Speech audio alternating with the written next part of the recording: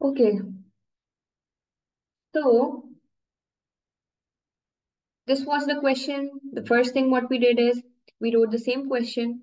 And the second thing is we rearranged the uh, numbers according to their powers so that it is easier for us to add or subtract or to look into the question.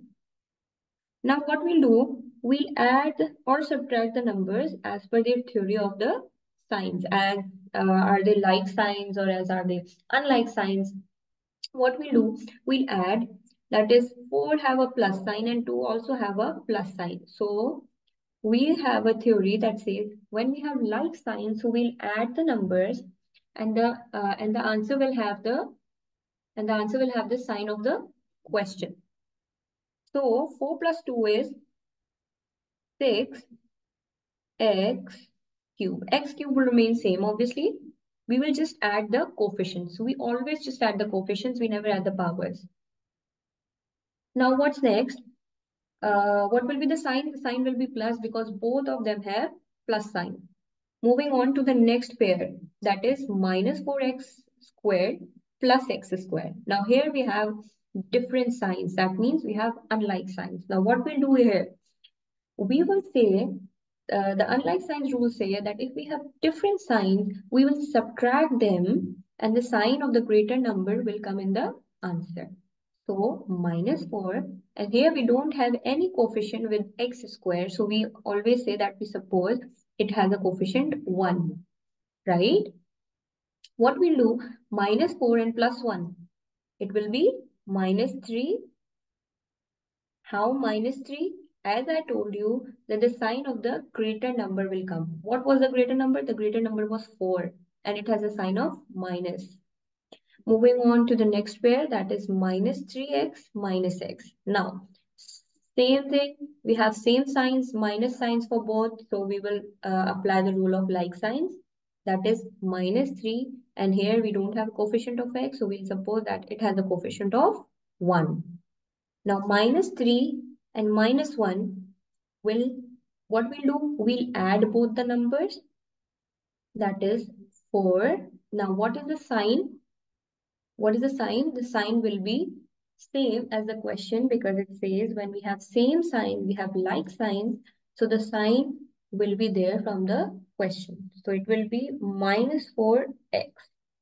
Do not forget to write x because it's the variable with the coefficient. Now, heading towards the last pair of uh, numbers, that is plus 5 and plus 3, that is a simple uh, calculation. So it will be plus 8. I hope it's clear up till now. Yes, please. Is it clear up till now? Perfect. Moving yes, on, it is. Moving on to the next uh, question because this question is solved. We cannot solve it further because, let me tell you why we cannot solve it further because can we see any other term uh, that have the same coefficient as x cube? No. We have and do we have any other term that have the same um, powers that have x squared? No. Do we have any other No. term that have the uh, same power as x? No. That means all of the four terms have different powers. So we cannot solve it further and that is the end of our question. That is the answer for this question. Okay, one more thing. Uh, one of our student, Omar, did this question vertically. Just like I wrote it horizontally, he must have written the same question like this. Just like we used to do when we were in uh, our uh, primary classes. So he wrote it like this, 2x uh, cubed.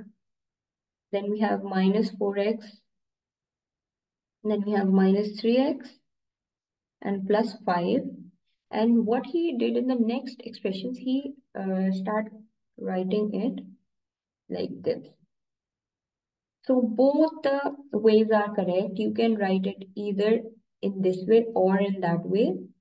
Both of them are correct. Now you can add them or subtract them, whatever the question requires, and the, your answer will come same.